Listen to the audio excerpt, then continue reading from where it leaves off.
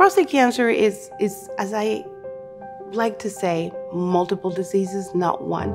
We are getting better and better at detecting the disease, but we're probably not detecting it early enough. We know today that if you just go for surgery, well, that may not be enough. It will come back.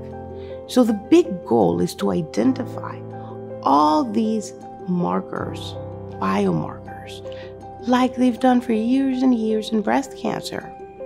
And to actually know before you go to surgery, should I treat? And if so, what is the treatment I should use? And what we found to date is that after 10 years of doing this research, is that yes, we can achieve that goal for at least 70% of those men. But what if we were able to hone in and tell you we have the ability to actually guide you to the 95 percentile of success? So, right now, we have built already this strategy where we are harvesting the information, looking at your biopsy, looking at yourself, and trying to dictate based on the information that we have of our prior trials if you are the appropriate candidate to be pre treated prior to surgery.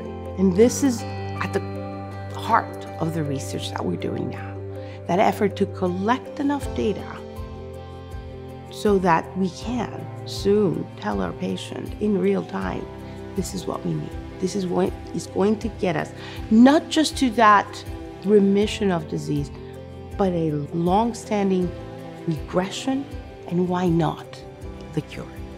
The magic part is the collaboration between the cancer center, our urology department, our radiation oncology department, our radiology department, our pathology. We all get together weekly and go over all our patients and come to conclusions that are what we need multidisciplinary. Even the most gifted, charismatic of us need each other's support, and this is what Houston Methodist is about.